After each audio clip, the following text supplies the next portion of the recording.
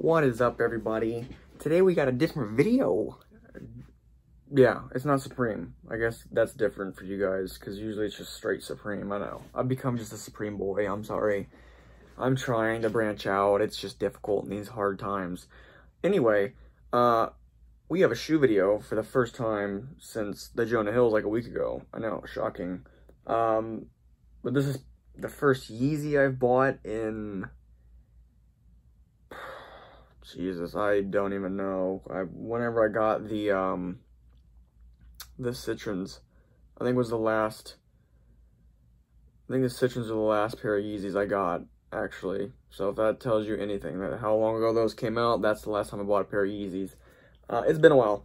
Not without, not, I mean, not from lack of trying, trust me. I, every time a one comes out that I want, I go for it, and it just, I just can't ever seem to freaking get them. Um, anywho, we went to a local resale shop because I got a pair of these in stock. I've been looking for a pair of V3s in general for a while now. The Azaels or the Alvahs, and uh, they had they got these. They were a decent price. They were pre-owned, but like pretty base, basically almost dead stock from at least when I grabbed them. Obviously, I've worn them like two or three times since then, but they were pretty much dead stock when I grabbed them. Um, they were like 430, I think, which is, I mean, that's a lot, yes, but yeah, I mean, like, that's what they're going to be. They're basically a brand new silhouette. There's only been two colorways of them. Um, but I wanted a pair of black Yeezys for a while. Alvahs are perfect. They're triple black, so it's like that works great for me. I love the glow in the dark. We're going to get into all that, though. Um, we have here the Yeezy 700 V3 Alvahs. Uh, here's the box in case you want to see it. I know y'all like to legit check me, even though it's been like 40 years since I've made these videos, so you should probably know that it's legit. Um, size 11s. I've heard, I heard when I went up there that these fit big, um, so that's why I went with size, that was fine with going with the size 11. Um, I think that's kind of true. I don't know how tight they would be if they were size 10 and a half. The size 11, 11 works perfectly fine for me though, so like I have no, no issues at all. Um, let me just grab both of them and the tag so you can see it. Here's the tag. Um, this was already detached when I grabbed these. It was just kind of floating in the box. So I'm just to throw it back in the box. Let's go back up in the closet because I keep these in my clear plastic bins that are sitting next to me. And here it is, the Yeezy V3, Yeezy 700 V3 Alvahs. Um, really, really, really dope shoe. Um, this probably comes in a close second for me in terms of 700. All of them, my favorite ones. The Wave Runners will probably always be my favorite V3 or 700s. These are a really close second. Um, I like the Azaels, but I think this just just the triple black. It's really nice. It's really subtle. Um, and then when these bad boy cages glow in the dark, it is, mm, it is just awesome. Um, I really like the futuristic look they have kind of like a streamlined look they have. Um, there's the bottom with the boost. I think it's that boost and I'm still, I'm not mistaken. Um, who knows? Uh, but yeah, I really like these shoes. Really comfortable. Um, really easy to wear because like I said, since they're black, they basically go with like almost every single outfit. You can't go wrong with them. Here's the other one. Um,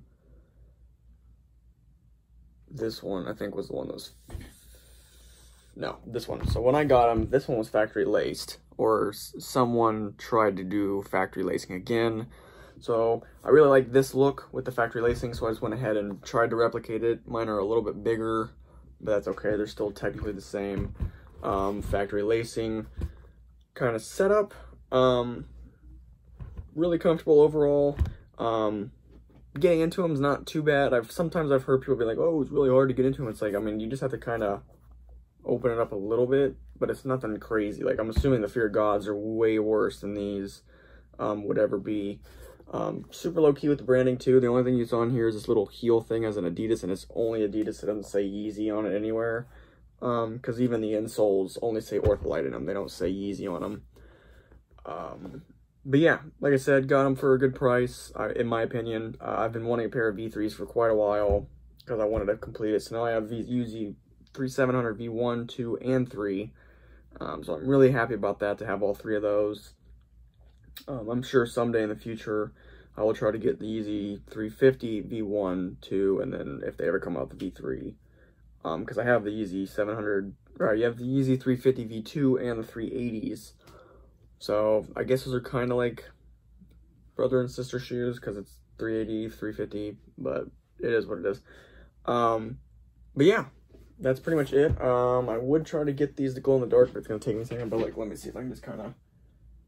I don't know if I don't even know if it'll pick it up on the camera or not. You can walk, you can look at this while I'm doing it. Like I said, really nice. I wish there was more 3M because the only 3M hits on it are the toes. I don't know if you can see that. Those little, uh, those little tiny silver things. Those are the 3M accents. Right, so this should glow in the dark. I don't know if this will pick it up or not. Oh yeah, it does. So that's when it glows in the dark. Um, it works extremely quickly, actually, surprisingly. Like um, when you're standing outside, I didn't get this side as much, but um, when you're standing outside, I mean, usually when I go outside and then I come into a dark place or I sit down in the car, I mean, I've usually I've only been outside for, I don't know, like 30, 45 seconds and it's already glowing in the dark. Um, so with UV activation from the sun, it's it's it's pretty quick. Um, a phone will obviously take a little bit longer because you only have like a little tiny spot, whereas the sun is just like everywhere. Um, but it's it's really nice. It looks really dope uh, when you're walking into a dark place with your shoes on and they're just glowing in the dark. It's it's it sounds childish. It probably is, but it's I I find that really cool about these shoes.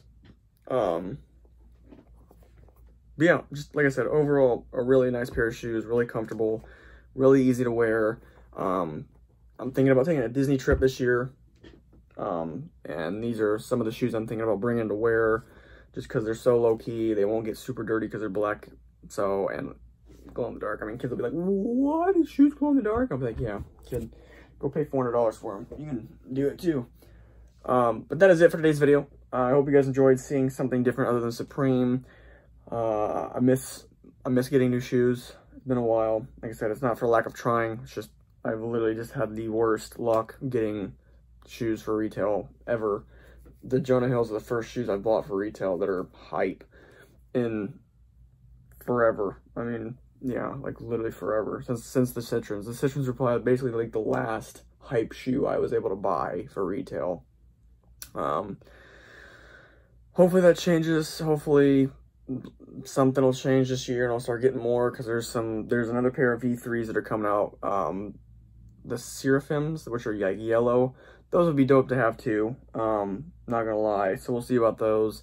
They're restocking the breads later this year, the V2 breads, um, the 350 V2 breads during like holiday season.